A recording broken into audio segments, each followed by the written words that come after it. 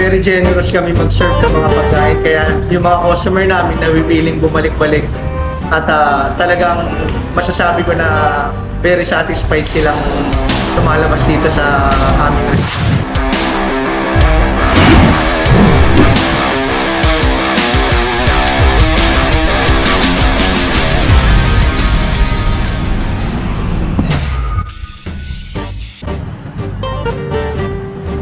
Si Ryan as a senior barista. 4 years na ako rito sa Ads Cafe and Nails Spa. Natin ngayon. Uh, gagawa lang tayo ng latte. Latte. Mukhang masarap yan, no? Ano yan? Separate yung payment yan, no? A la carte. Separate payment to para sa mga mahilig magkape dyan, sir. Kita lang kayo dito sa Ads Cafe and Nails Spa. Anchor lang naman. Or, Full cream. ano yan, no?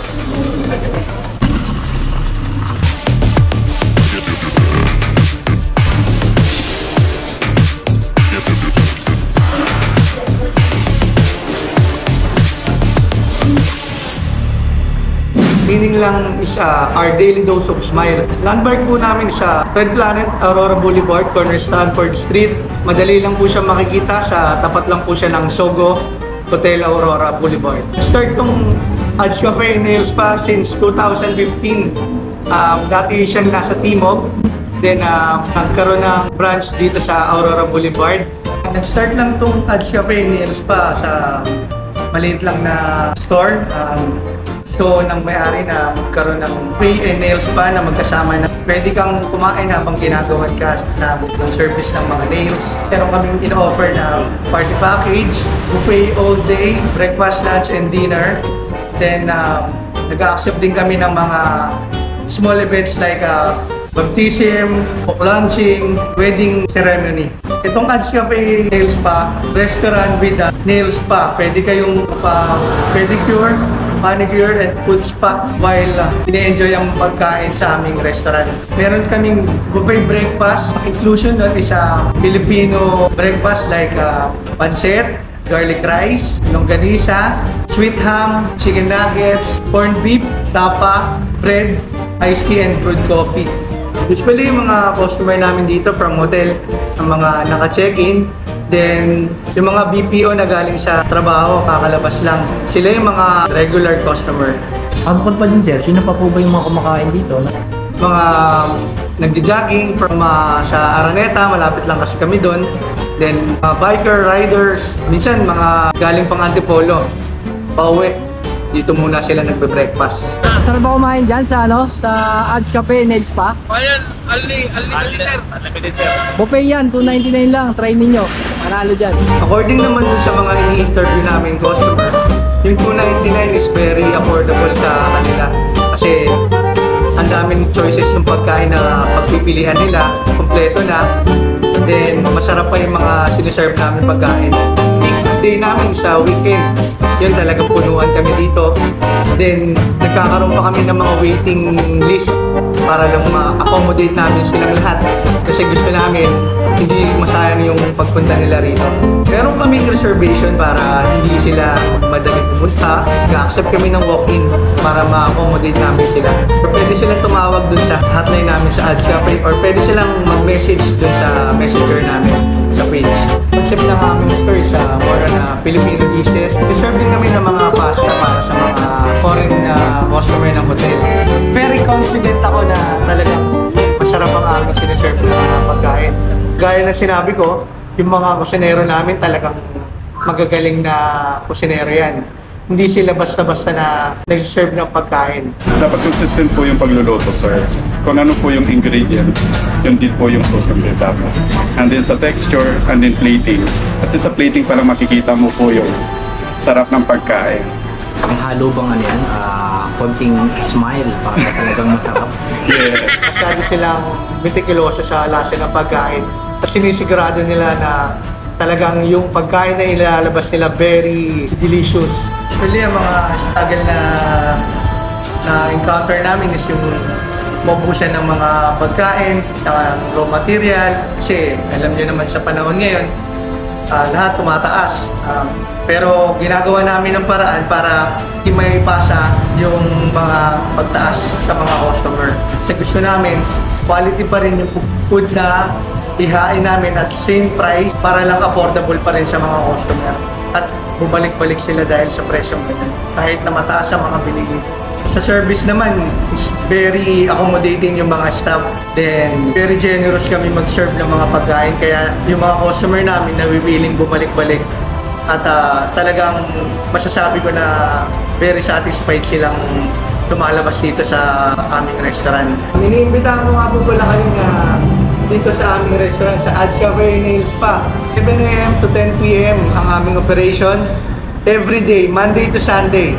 All day buffet at 299. Sana makapunta kayo at sana ma-experience nyo ang very affordable 299 all day buffet located at ah, Red Planet Ground Floor Corner Aurora Boulevard, Quezon City.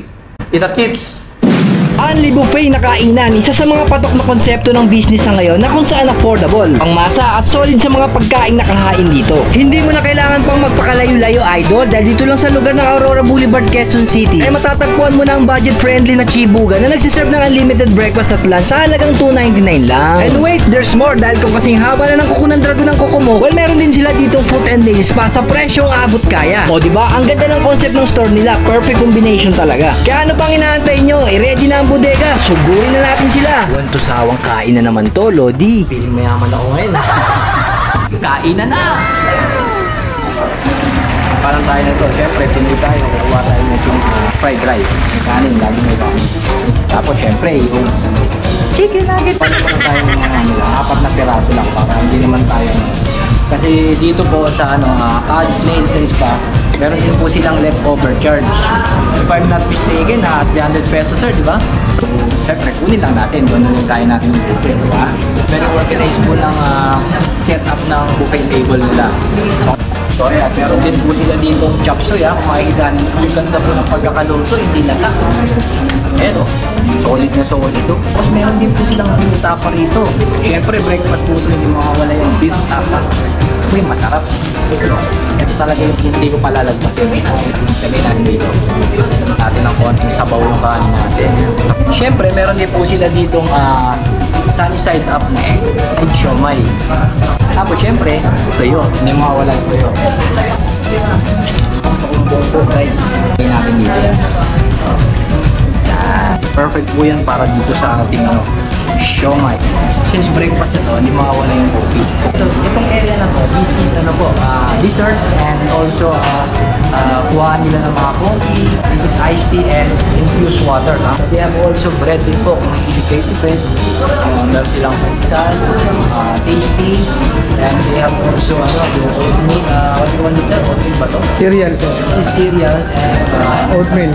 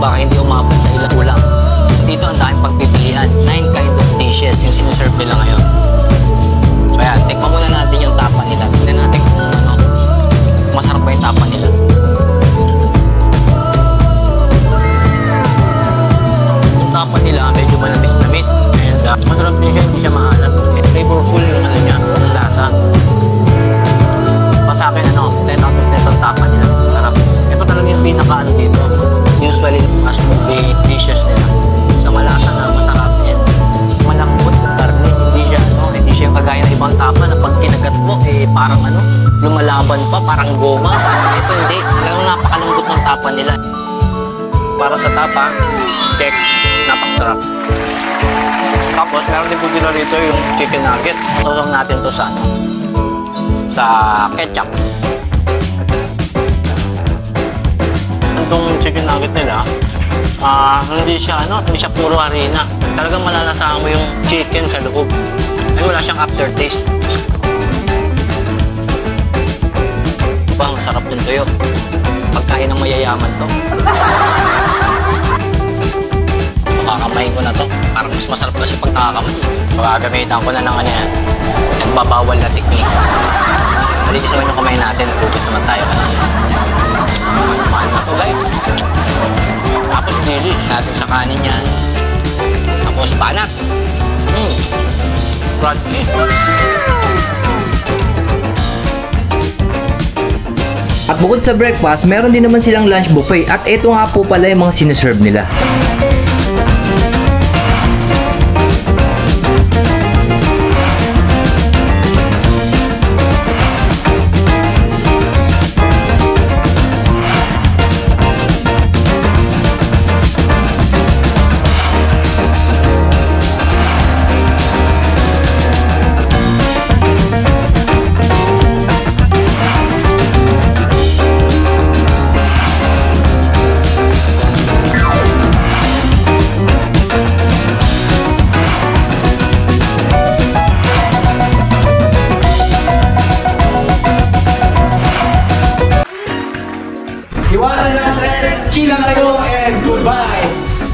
Peace out! Alright, thank you, sir. Salamat po. Salamat, sir.